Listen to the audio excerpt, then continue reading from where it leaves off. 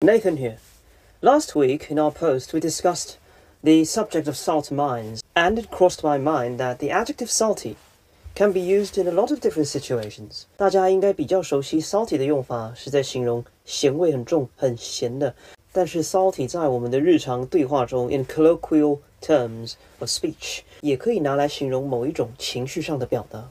Well, salty is often used to describe someone who is feeling bitter resentful, or irritated, especially as a reaction to injustice, defeat, or disappointment. 所以用中文来解释的话，salty 就是在形容当某人蒙受羞辱，或是因为某种失败、挫败以及不正义之行为而感到恼羞成怒所拥有的情绪。当然，我们也可以用另外一个方法来记 salty 这个延伸用意。When something is salty in a culinary nature, it refers to a particular cuisine that has excessive amounts of salt added within。想当然尔，如果一道料理加了太多的盐，那最后吃起来会过咸，让人觉得这个食物不太好吃，难以下咽。Same as any cuisine, the excessive saltiness results in an unpalatable demeanor of a person。那最后我们就用 salty 来造一个很简短的例子。Nathaniel's salty reaction to losing the game spoiled the mood of everyone at the party。因为在竞赛中败落而恼羞成怒的我， 让派对上大家的情绪一落千丈。Well, apart from salty, there are many other taste related adjectives that can be adapted in colloquial terms of speech and refer to descriptions of people's feelings, emotions, and reactions. 那下一个我们要介绍的呢，就是 sweet。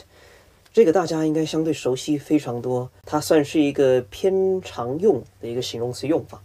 Just like the taste of food, when something is sweet, it is particularly delectable, delightful to the taste, extremely palatable, and this goes the same for a person's personality or this individual's actions and words.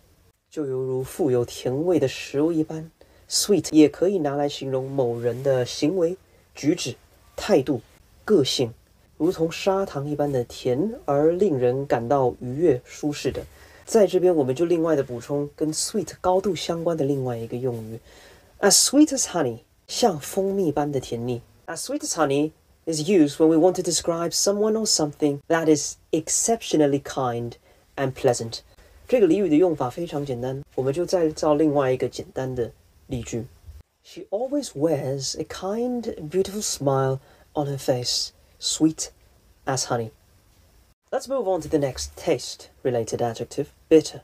Bitter is very similar to the adjective salty when used in terms of emotional description. Bitter, this adjective, is often used when expressing resentment, disappointment, or harshness. 这个形容词的用法，bitter 苦涩，其实跟我们中文的形容用法是一样的。食物可以尝起来非常的苦涩，food can taste bitter，但生活也一样可以用苦涩来形容。这让我快速的联想到一个有趣的用语，叫 bitter wife，bitter life。所以老婆不开心，你的生活也不会好到哪里去。But anyways, let's use the adjective bitter to make an example sentence. Nathaniel was extremely bitter about not getting the promotion that he thought he deserved. 因为没有得到他认为他应得的升迁而感到非常的失望，非常的苦涩。那我们今天要补充的是 leave a bitter taste in one's mouth。其实 leave 这个动词不一定要在这边使用，但是惯用上会很常搭配 leave 这个动词。So the bitter taste in one's mouth refers to the feeling of disappointment, bitter regret, resentment that you feel after a particular failure or inability to achieve a certain goal. 我们一样用 bitter taste in one's mouth 来造一个非常简短的例句。The messy divorce left a bitter taste in his mouth. 这边都是在讲某一种悔恨、失望或者是苦涩的情绪。下一个，我们来讲 sour。sour 在味觉上的形容是在讲东西的酸。We know what particular flavor that the adjective sour is referring to in terms of taste, but when used in a different scenarios, the definition of sour undergoes a certain change. 当我们在用 sour 来形容人们的情绪或者是当下的态度的时候，并不是在讲酸涩或者是酸楚。Sour is used to describe someone's attitude or mood as unpleasant or negative，令人感到不快、令人感到不悦的。那依循同样的思维脉络，当 sour 词性变为动词的时候，一样是一直让某一个情形或是某一个人的态度以及心情变得 不悦。An example sentence: My boss gave me an extremely sour look when I mentioned that the ongoing project was yet unfinished.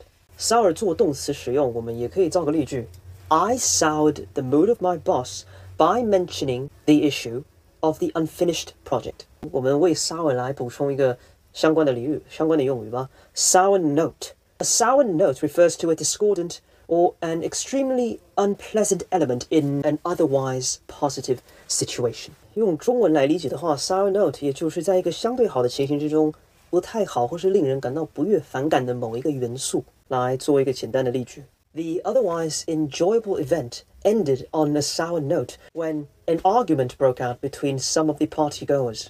下一个形容词我们要讲 spicy，腥味、辛辣的、辣味的 spicy。We can also use the adjective fiery，同样的意思，都在形容一个食物会引起辣味。Spicy can also be used to describe when something is intense, exciting or provocative，非常具有挑逗性质的， 就犹如一般的辣椒那种 spicy taste 一样，它造成了某一种视觉或是感官上的刺激以及兴奋。